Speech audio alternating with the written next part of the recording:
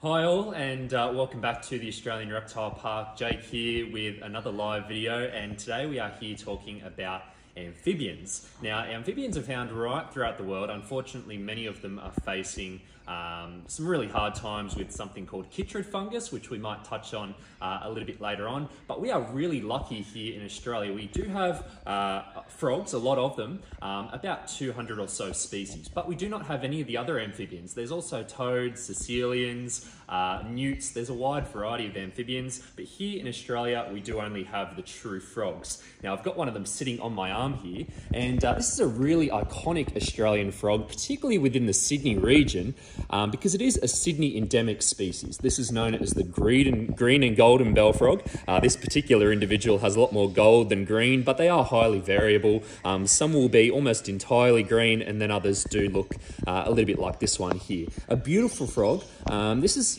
maybe not quite as large as they get. They'll get a little bit larger than this, um, but they are one of our medium-sized frogs. And like most frogs, they are spending the majority of their time around water. Now the water is of course where the life cycle of a frog begins and we're actually here in the Reptile Park's undercover picnic area and we're really fortunate to have uh, a mural behind me uh, and right around the undercover area that demonstrates or uh, shows you a bit about the life cycle of a frog. So we're going to head over here to the wall Walls usually aren't the most inter interesting things in the world, but this one is um, because it does allow me to show you a few of the different stages within the life cycle of a frog. Now, what we're looking at here is not eyeballs, um, they are uh, frog eggs. Now, when a frog um, is ready to breed, the males, they'll begin to call, and uh, that's typically a sign the breeding season has begun when you start to hear those male frogs calling.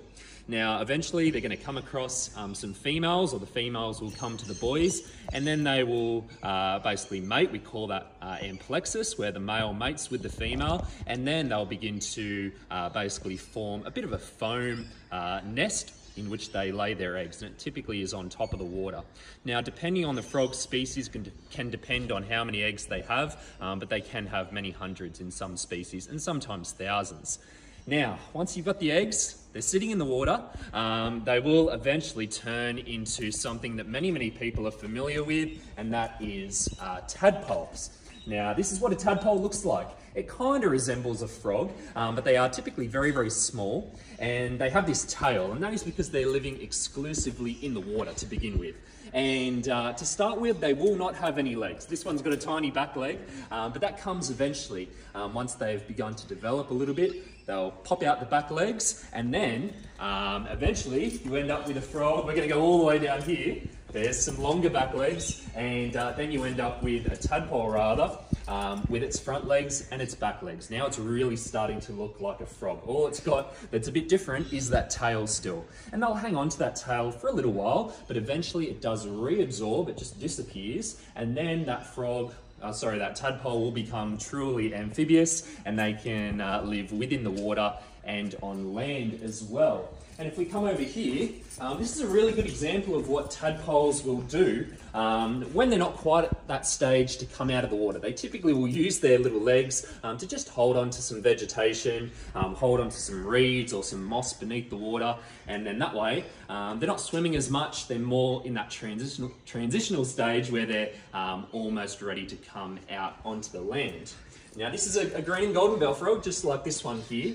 Um, and as you can see, this one's hanging out in the water. It's kind of sitting on a branch. But what they can do at this stage, this is a mature frog, um, they can completely leave the water and they'll begin to sit um, up on some reeds or sometimes in the trees. So they can sort of just go between the two, but they typically do come uh, back to the water to lay their eggs and mate and breed.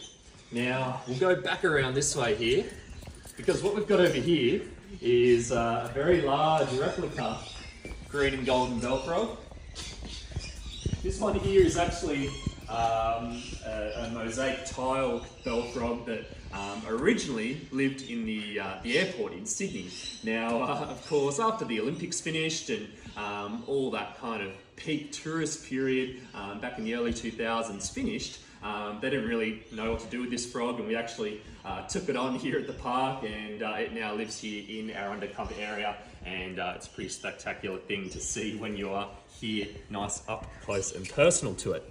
Now I'm going to pop our bell frog back, back in there You'll notice in the containers that we're keeping these frogs in, I've got a little bit of moss. Now this isn't um, your typical moss that you might see growing underwater. Typically that's green. Um, this is more of a dry moss um, that we can wet down. It's called sphagnum moss. You typically find it um, in kind of boggy, swampy areas, and that just retains a little bit of moisture. It's really important for frogs that their skin stays wet, um, and their skin is permeable, which means they can absorb things or chemicals, um, anything that might be in the water through the skin. So it's really important that when, when, when we are working with frogs, um, that we are using gloves. One, we might have something on our hand that could damage them, but that we're also keeping them in an environment like this that stays uh, a little bit wet and that way they do not dry out. Because as I mentioned, most frogs, they are spending most of their time around the water. Now I'm typically, oh, sorry, I'm gonna pop my gloves off here after I get this lid off. I'll let you get in nice and close there to him while I take these off. What we're looking at here is perhaps our most successful species of frog. This is probably the frog with the largest distribution right across the country. This is the uh, very common Litoria caerulea or the green tree frog. And as I mentioned, they are found pretty well right across the country and uh, in a wide variety of habitats as well. You will find these in coastal areas and areas where there's a fair bit of water around, but this is one species that can deal um, with very, very dry conditions as well. In fact, I've seen these frogs in areas of outback Queensland, Mount Isa, um, out in those sorts of areas. They can do uh, quite well with minimal water, and uh, yeah, it's a big part of the reason why they are so successful. Now this is more of your standard uh, frog. It's bright green and uh, this is your classic example of a tree frog. Here in Australia, as I mentioned, we have a lot of frogs and there's um, a bit of variety in them. Some of them are very, very tiny and they'll spend most of their time down on the ground. They're moving around in the leaf litter, um, cruising around, walking around, that sort of thing. And then others, um, they're living in really sandy areas and they actually rely on that sand in order to get through um, summer, which may be very, very warm with minimal rainfall. Um, an example of that would be uh, any of your spadefoots, which typically live in northern Australia. Um, they'll bunker down and head underground and live in that sand um, for the hottest part of the year, only emerging once the rain arrives. Now, this is, of course, as I mentioned, a tree frog, and as the name suggests, they are spending the majority of their time um, in and around bushes, trees, but always uh, fairly close to water, typically. Now I'm going to pop this guy back here, pop him in there. And uh, we do have one more thing to look at. We've seen two frogs so far, um, but now we are going to look at, unfortunately, probably our most famous amphibian in the country. It's not a frog, um, it is a toad, and it is also an introduced species. In fact, uh, probably the worst introduced species this country has ever seen. This is of course known as the uh, cane toad or marine toad. A lot of people think these are very ugly, um, and they do look very, very different to most of our frogs. Um, they get very, very large for starters. A big female could get to about the size of a dinner plate. And unlike a frog, which will typically have nice smooth skin, you can see the toads have uh, these really rough, um, bumpy almost protrusions on the skin, um, and that's a pretty dead giveaway that this is a toad and not a frog. Now, one other thing you'll see, and this is a big part of the reason why they are so destructive in our ecosystems, is these glands behind the eye. These big bulbous patches there, that is the poison gland of the cane toad. These toads are extremely poisonous. What they hold inside that gland is their poison. It's kind of like a milky, yellowy color. And what is going to happen if anything comes along and wants to try and make a meal of this toad? It'll one, typically grab it on the head. And then what this toad will do is begin to exude that uh, poison from those glands and attempt to get it into the mouth of the potential predator. Now, it is very, very toxic um, to our Australian wildlife because they have not evolved with this species. This is an introduced species from uh, Central and South America.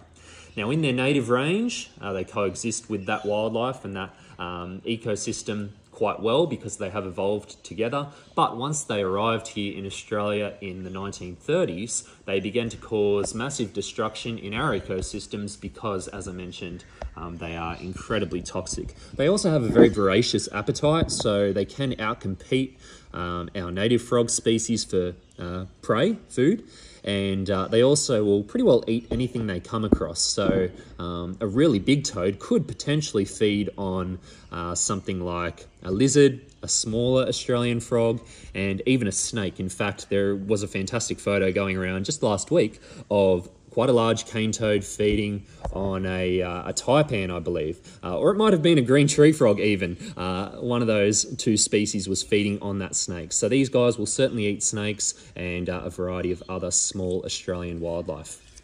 Now the way that they got to the country is uh, they were brought over in order to hopefully get rid of uh, a cane beetle which was destroying the cane crops in North Queensland and uh, basically, what happened, they brought them over thinking they were going to eat all these cane beetles and uh, get rid of the problem. But in actual fact, those beetles, they lived right at the top of the cane stalk, about three meters high. These cane toads, as you saw, they can jump, but not very high, only about uh, 20 or 30 centimeters off the ground. And uh, as a result, the two never interacted. The cane toad did not eat the cane beetle, but what they did is began to spread right throughout northern Australia. Um, and from where they were originally introduced in Innisfail, they are now right across northern Queensland, um, down into southeast Queensland, and right across into the Kimberley in WA as well.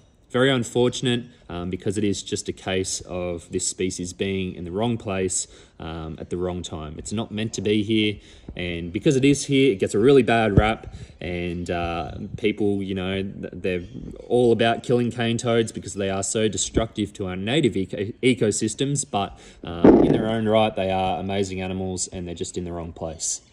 All right, now I might grab this guy back here. We'll hold him, we'll keep him out and uh, I think we're going to answer some questions about our amphibians. Yeah, so are all amphibians venomous or poisonous? They're not. They're not. No. So most toad species like this, um, they are typically poisonous. They'll have those poison glands behind the eye, and some of our smaller ground-dwelling Australian frogs, um, are poisonous as well. A corroboree frog, which is a very iconic endangered species, um, is an example of that. And there's many species overseas as well which um, are poisonous. Your poison dart frogs or po poison arrow frogs are another very famous example. So it depends on the species, but no, they are not all poisonous, um, but quite a number are. What kind of diet do amphibians eat? Uh, for the most part, frogs and toads, they're um, primarily feeding on invertebrates. So um, if a frog like that green tree frog is hanging out um, you know, next to a beautiful stream. What they're typically going to be feeding on is moths, uh, crickets, worms, basically anything that's living in their environment that's smaller than them, um, they will try and make a meal out of.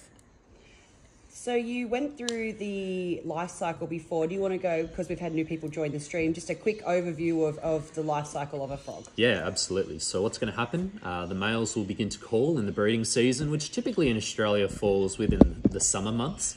Um, we do have some winter breeding frogs, but for the most part, frogs are breeding uh, when it warms up. The males will begin to call, um, the females will come in, and then they'll mate and they'll uh, produce a foam nest, um, and that's what has the eggs inside. They then uh, will basically go through the process of hatching and turning into tadpoles, which will spend most of their time uh, in the water. They've got a tail, they can swim around quite easily, um, but they're typically living in uh, fairly shallow, slow moving water for the most part. And some species, this cane toad is a perfect example, um, can breed with minimal water available. If there's a small puddle on the side of a road, um, a cane toad can mate and breed and uh, lay their eggs in there. So that's a big part of the reason why they are so successful. So they'll lay the eggs, those tadpoles, um, they're spending time in the water, and then eventually those tadpoles will uh, develop legs and they'll reabsorb their tail. That's when they're starting to live both on land and in the water and essentially they're an adult frog or what we call a metamorph and then uh, they grow up and uh, they'll be breeding themselves one day and the process just goes on and on. Are frogs and toads the only kinds of amphibians? No, no. So there's several different uh, types of amphibians or groups. Um, frogs and toads are probably the, the most iconic and well known of those. Um, but overseas, particularly in the Americas, we have uh, salamanders, we have caecilians, which are a very long, thin, snake-like amphibian. They're very odd looking, and also newts. Um, so there's a, a few different groups, but as I mentioned at the start, here in Australia, we only have frogs. So that's our only group and we have over 200 species of native frog and one introduced toad, this guy. So cane toads, they can get quite big. Um, are they on the bigger end of to- toads and frogs in the world? Yes, certainly. So there is a few frog species and a few other toads that would get to a similar size. Uh, another classic example is your large African bullfrog, which can get to about the size of a dinner plate, which is about as large as a female cane toad is going to get. So they are certainly on the larger side um, of all your frogs and toads, but there are some extremely large frogs out there as well. What about on the other end of the spectrum? What about tiny frogs? So, what, what are we talking about and how small can they get? There's a lot of them, and uh, they can be incredibly tiny. For example, here in Australia, we have um, a whole family of frogs, which uh, really doesn't get much longer than about two centimeters, three centimeters in length. So there is a lot of small ground dwelling frogs that um, pretty well go unnoticed. Not many people know about them. Um, they're typically not the ones that you're seeing out and about calling at your backyard pond. Um, they're the ones that go unnoticed, and there is a lot of them. Some examples of very small Australian frogs would be uh, the corroboree frog that I mentioned before, and the same genus, um, the red crowned toadlet, which is found within the Sydney region. So, what kind of habitats um, do frogs live in, and is it only just waterways, or can they be found in other kinds of habitats? Yeah, so they're like most uh, groups of, of animals, they've adapted to basically live in a wide variety of habitats. Um, frogs, because they are for the most part relying on water to breed, um, they'll either require a permanent water source in the case of many of our Sydney species, um, but a lot of your desert species, um, like your spadefoots um, and a few of your, your other frogs, like your crucifix frogs, um, they can breed when rainfall occurs. So once rainfall happens, you get puddles and water forming on the ground, and then they will utilize that to breed. But they can live in, in environments that can go long periods without rainfall, and they simply just head underground and uh, bunker down.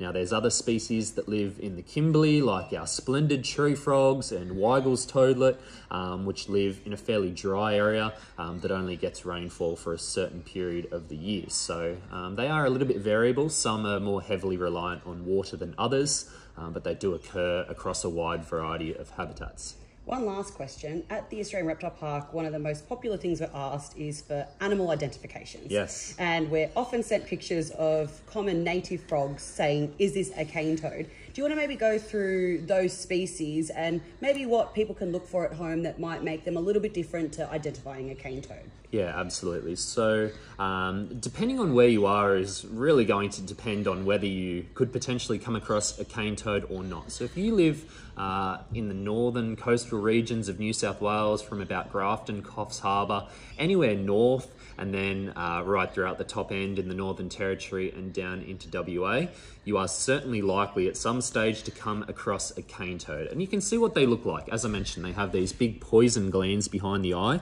and then they have this rough, warty looking skin. They look quite different to a lot of other uh, frog species.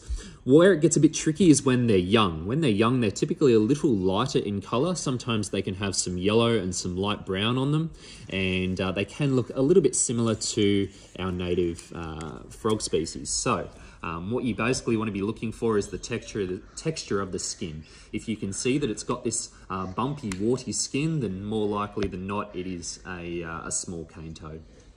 All right, now I'm going to pop this guy back in there because he's getting a little bit uh, agitated there. He's, I thought he was going to uh, croak there for a second, but he's been pretty silent. Um, we uh, are going to wrap it up there, guys. I hope you enjoyed that and learnt a little bit about uh, just these three species we've seen here and about amphibians as a whole. Um, we are going to keep bringing you these uh, daily live streams, so stay tuned. I'll see you tomorrow and uh, hope to see you then. Thank you, guys. Bye bye.